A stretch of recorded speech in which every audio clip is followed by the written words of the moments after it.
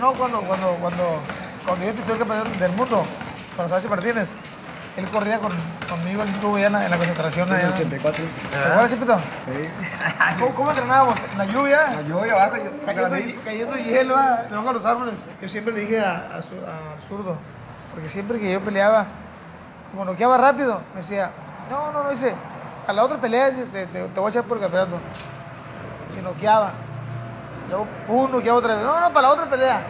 Así me traía, para la otra pelea, para la otra pelea, para otra pelea.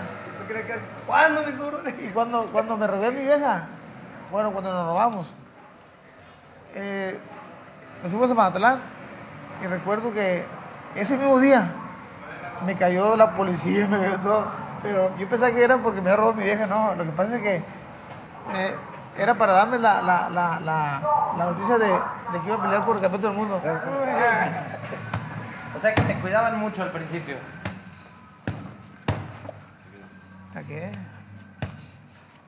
Ay, güey. Pero con Juan Antonio me llevaba a pelear a, a los ranchos. Peleaba con mujeres, con hombres, Con con mujeres. te maricones, con todos.